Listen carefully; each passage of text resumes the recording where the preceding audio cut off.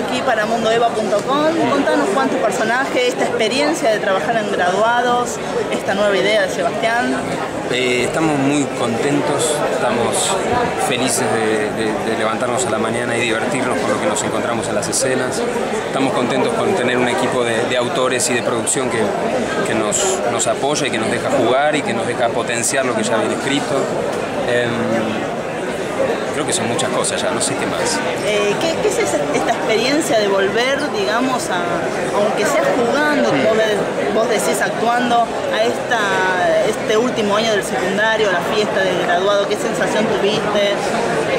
En realidad lo que me tocaba hacer en esto era muy distinto a lo que a mí me pasó cuando egresé. O sea, nada que ver. No, nada que ver. No, no, no. Esto era, esto era una orgía de glamour al lado de lo que yo tenía. Este, no, no. ¿Te hubiese gustado que hubiese sido así? No, me gustó de la otra manera. Ah, ¿te gustó sí, me, gustó que fuera. No, me gustó que fuera muy, muy, muy tranquilo. Estábamos todos muy asustados porque no sabíamos el mundo que se nos venía encima. Pero, pero está bueno, está, bueno mirar por atrás. ¿Tu personaje sos un empresario? Sí, es un gerente de marketing, cheto, maltratador, que cree que es lo mejor que le pasó al mundo y es muy amigo del personaje de Luciano Cáceres y se encuentran después de 19 años. Yo vuelvo a trabajar en la empresa del suegro del personaje de Juan Leirado. Y empiezo un conflicto con Isabel Macedo, porque creo que la conozco de algún lugar claro. y no sé de dónde hasta que empiezo a investigar y finalmente me doy cuenta que sí, la conozco y cuando lo estoy por, por, acusar de, de falsear su identidad, ella hace algo que no puedo contar. Ah, mira. Te, vamos a ver dos veces en la pantalla porque están transmitiendo Floricienta. Cierto. O sea, vamos a ver Floricienta y luego los graduados. Es verdad. Mira, eso, eso también es ir para atrás en el tiempo, ¿ves? Sí, sí, sí. ¿Qué, sentís nuevamente Floricienta? Aparte en otra pantalla, porque Floricienta fue... Sí, es verdad, eh, con el 13.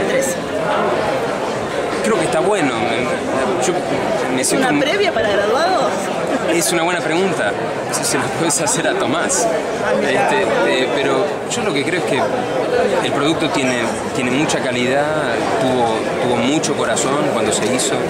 A la gente le gustó eso porque no porque había algo que, de verdad no, solamente tenía que ver con, con lo infantil, era un producto para toda la familia, aunque suene muy marketinero, sí, sí, que funcionó muy bien.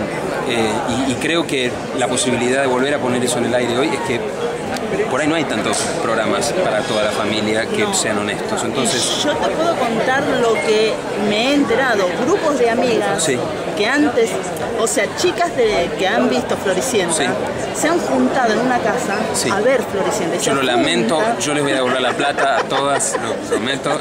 Y si compraron el compact y me escucharon cantar, les voy a devolver dos veces la plata.